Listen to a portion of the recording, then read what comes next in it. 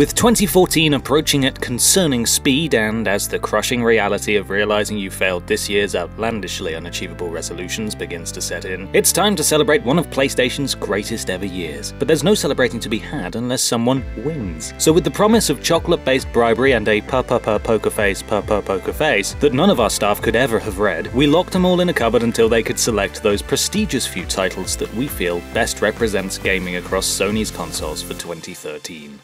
Could I get any lower? No, is the answer. Let us begin with our favourite PlayStation 3 games of this year.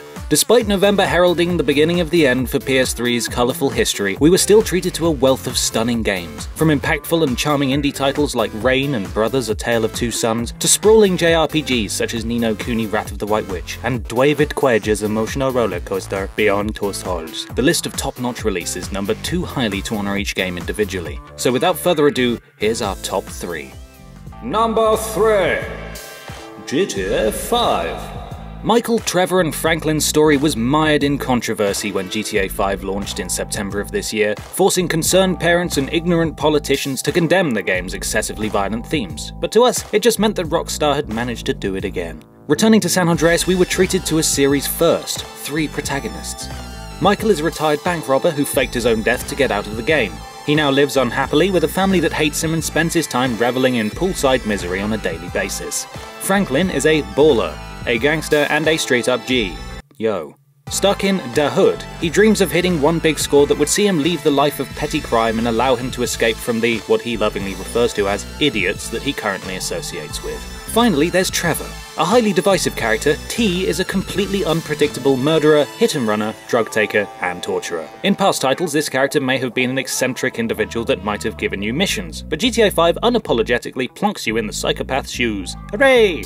Together they form a completely unstable bank robbing trio, running into problems with the feds, the police, the CIA, and more across their 30 hour campaign of destruction. But GTA tends not to stick in the mind because of what happens in the narrative. No, no, no. Every person who's ever played these games in the history of time and space will be able to recount several funny occurrences that were entirely of their own making, and the newest entry in the series acknowledges this by giving you a map the size of the galaxy, including mountains and ocean, aircraft and all terrain vehicles, and of course, a plethora of devastating weaponry. As we said in our review, Rockstar's latest tale of crime and punishment is easily one of the best open world games on the market, and it represents the pinnacle of the publisher's massively popular property too.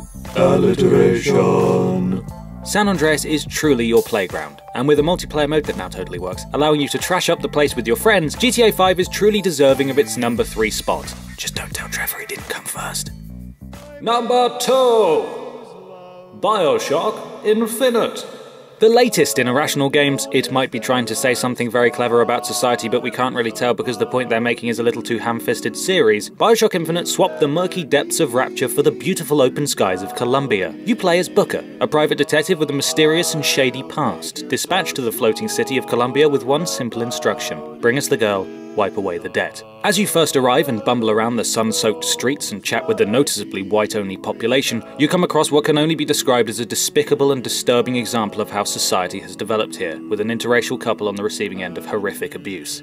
Ruled over by a deified man named Comstock, to whom the whole idea of a floating city can be attributed, you must save Elizabeth from her prison whilst overcoming the bizarre array of mechanical beasties that stand in your path and somehow escape the lofty heights of the flying metropolis with your lives. Plasmids have made the jump from the previous series entries and are now called Vigors, as in, look at me vigorously electrocute this man. Look at this vigorous display of fireball to the face, and recoil at this flurry of vigorously pecking birds and when combined with a specific weapon, true devastation can be unleashed upon your foes. Skylines, dimension jumping, alternate realities, the idea and gameplay features Infinite introduces are novel, mind expanding ones that'll surely leave you Googling theories concerning the finale immediately as the credits begin to roll. As we so eloquently put it in our review, Irrational Games has once again proven that it's a very special developer, and if there's any silver lining to the adventure's complex conclusion, it's that the studio is certain to take us somewhere equally endearing when it returns in a few years' time time. Here's hoping.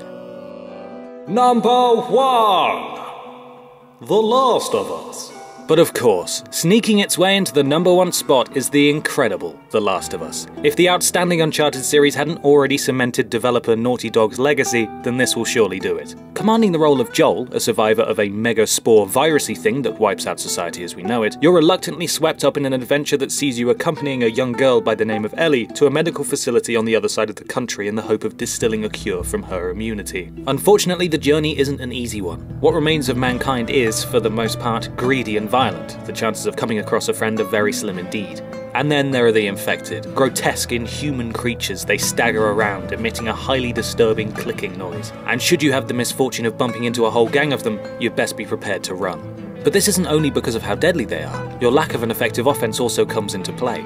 Sure, when taking on humans, engaging in a fist fight may not be a recommended strategy, but you'll probably be able to walk away. Take on clickers in this manner, and you'll be their dinner. This ever present threat forces you to think on your toes, and by picking up items around the game world, you can craft a myriad of dangerous objects, from nail bats to Molotov cocktails. The gameplay is so well designed that simply hearing the sound of a clicker will send chills down your spine. However, what must be lauded above all else is the genre defining quality of the writing and the acting on show. Indeed, the authors and performers will manipulate you to the extent that you'll genuinely fear for your life, more than likely tear up, and be filled with an incandescent thirst for redemption across the game's 15 hour runtime. Now, you may have noticed there are no daft asides here, no jokes, and that's because it's incredible, simply brilliant. If you have any self respect as a gamer or appreciate the advancement of the industry in general, get it played. As we put it, an assured, touching, and engrossing adventure, The Last of Us represents a watershed moment for the medium. The unlikely bond that blossoms between the title's two leads is both heartrending and poignantly paced, but the release delivers much more than captivating cinematics.